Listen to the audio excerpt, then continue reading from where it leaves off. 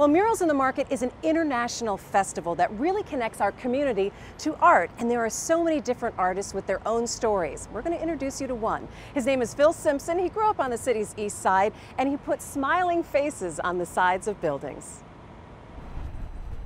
When I first started, I started painting smiles over vacant houses just to cover up some of the the negative cuss words. Just want people to you want to walk past something that's encouraging.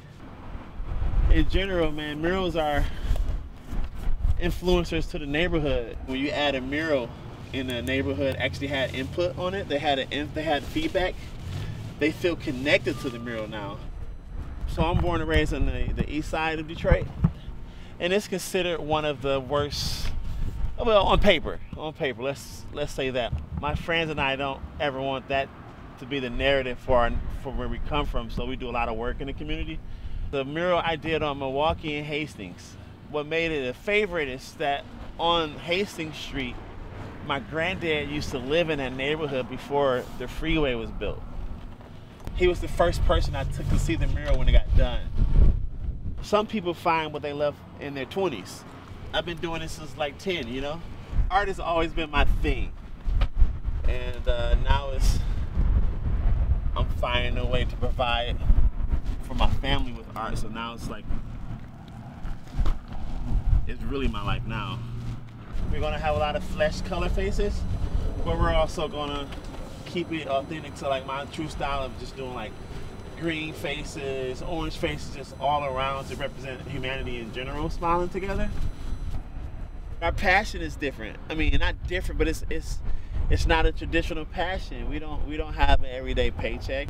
And then when they click or when you do make it or when you start getting invoices and that makes it better. But I think most of us that do this with no money because we love doing it, you know? To all the parents out there, keep your kids' drawings. My mother did a great job encouraging my art, but also keeping all of my old sketches I can go back 26 years to find my earliest drawing. It lets me know I came a long way. so this is definitely just the beginning of my mural journey these first three years. You're gonna see some more smiles around the world. That's the goal, to spread smiles and joy through other inner cities where it, it'll have a bigger impact on the youth. I waited for this day, you know, in the city of Detroit as an artist, to be invited to do this. You got a uh, a little kid from the east side of Detroit painting smiles, and it, it, I don't think it could get any better than that. You know, dreams come true for real. So keep an eye out for Phil's work and make sure you see some of the great murals that are down here at Eastern Market.